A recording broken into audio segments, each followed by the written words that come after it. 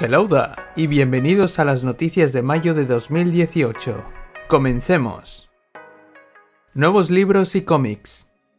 En primer lugar tenemos Mujeres de la Galaxia, libro de ilustraciones de 75 perfiles con texto escrito por Amy Radcliffe y mezcla de personajes femeninos de películas, dibujos animados, novelas, cómics y videojuegos. Saldrá a la venta en octubre de 2018 este otoño saldrá Vuelo del Halcón, libro para niños de entre 8 y 12 años. Serán historias que pasan antes de Han Solo, una historia de Star Wars, durante la trilogía original y la nueva trilogía.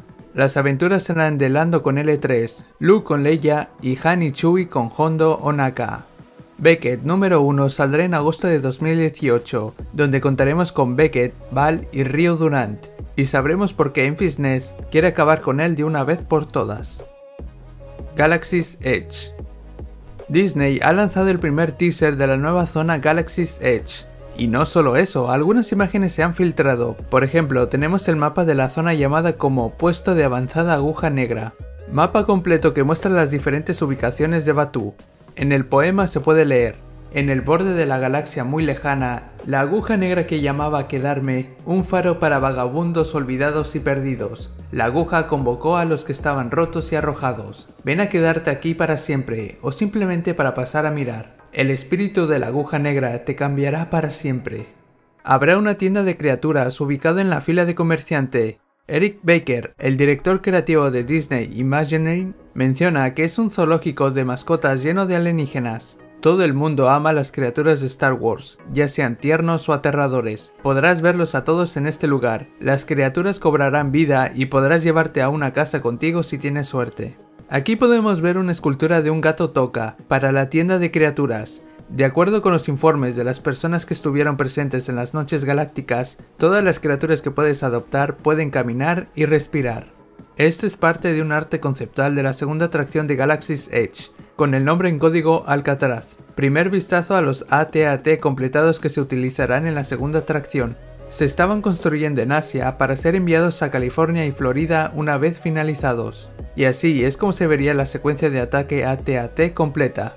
De manera similar a la mansión encantada, comenzarás tu viaje donde inevitablemente serás capturado por la primera orden. Primero debes abordar un transporte de la resistencia que te llevará al espacio. Este es el aspecto real del mismo transporte. Arte conceptual hiperrealista de cómo lucirá caminar por los senderos de la aguja negra. Esto será cerca del hangar 7 y de la sede de Hondo Naka. Aquí vemos a Hondo haciendo un trato con Chewbacca con R2D2 subiendo al halcón milenario. Arte conceptual del valle del río Surabat, que se encuentra a las afueras de Batu. Por último, no sé muy bien si es solo una imagen o un cartel que se puede encontrar por el parque, pero vemos una cara conocida. B. Moradi de la novela de Fasma está huyendo de la Primera Orden. Faltará saber si es antes o después de la novela. El hotel de Star Wars se encuentra actualmente en desarrollo en el lado sur de Disney Hollywood Studios. Esta ubicación permitirá que la experiencia se conecte perfectamente con Galaxy's Edge. Las familias que visiten este destino abordarán una nave espacial que cobra vida con los personajes y las historias que se desarrollan a su alrededor durante una travesía por la galaxia. Las ventanas de las cabinas tienen vista al espacio, los invitados que estén varios días serán bienvenidos a participar como residentes de la galaxia vistiéndose con atuendos inspirados en Star Wars. Galaxy's Edge abre en Disneyland Resort en verano de 2019 y en Walt Disney World Resort a finales de otoño de 2019.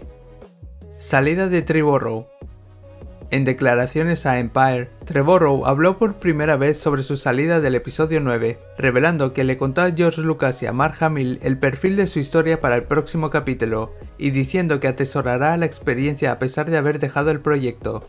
No quiero hablar demasiado sobre eso porque no quiero afectar la forma en que los fanáticos ven estas películas. Cuando éramos niños, estas películas nos llegaban desde muy lejos. Fueron un regalo, son más que películas, más allá de eso, tuve la oportunidad de contar una historia que es una celebración de todo lo que se creó. Se lo conté a George Lucas y se lo conté a Luke Skywalker, y esas son experiencias que apreciaré por el resto de mi vida. Star Wars Celebration 2019 Hace unas semanas se confirmó el lugar y fecha del próximo Star Wars Celebration.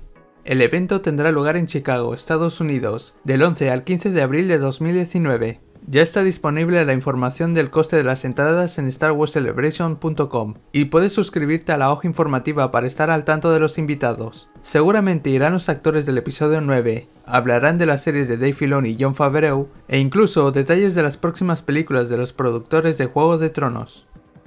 Película de Boba Fett se ha extendido el rumor de que la próxima película será de Boba Fett, con James Mangold como director y guionista. Aunque fuera cierto, con el poco éxito que está teniendo Han Solo, podrían cambiar de idea y cancelar tanto el proyecto de Obi-Wan como este. ¿Tú estarías dispuesto a ver otra película de orígenes o te gustaría ver una película con nuevos personajes? Y esas han sido las noticias de este mes de mayo. Déjame saber en los comentarios a qué irías primero, a la Star Wars Celebration o al Galaxy's Edge. Dale like y suscríbete para más Star Wars. May the Force be with you. Always. Thank you.